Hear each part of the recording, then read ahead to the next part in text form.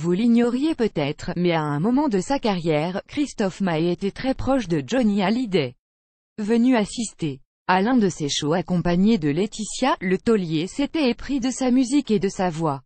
Si, bien qu'il lui avait alors proposé de l'accompagner sur les longs chemins de la gloire. Je pars sur la route. Dans pas longtemps, lui avait dit le rocker, comme le rappelle Christophe Maé à Midi Libre. Si ça te dit. Je t'emmène avec moi et tu fais mes premières parties, si le jeune musicien a aujourd'hui la carrière qu'on lui connaît, c'est un peu grâce au légendaire Lion, plus grand que plus grand que plus grand que vidéo Johnny Hallyday, Sylvie Vartan désingue les faux amis du rocker qui se donne la permission de juger, il est où le bonheur, pas dans la composition. Car la collaboration entre les deux artistes ne s'est pas arrêtée là. En 2008, Christophe Maé écrit les mots et la mélodie d'étreinte fatale pour son idole, afin de rejoindre les autres titres de l'album Ça ne finira jamais.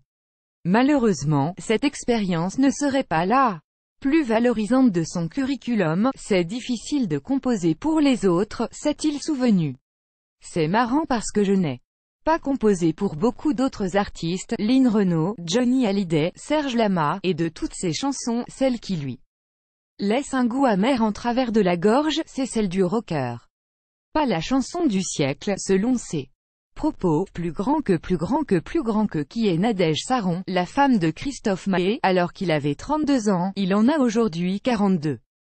Christophe Maé a pris son courage à deux mains pour travailler étroitement avec Johnny Hallyday, mais n'en garde que les regrets. Quand j'ai composé cette chanson, qui parle juste d'un couple, d'une relation assez forte, j'ai imaginé la mélodie chantée par Johnny. En revanche, ce qui m'a échappé, c'est la réalisation, a-t-il regretté. Je n'avais pas du tout entendu cette chanson arrangée comme ça.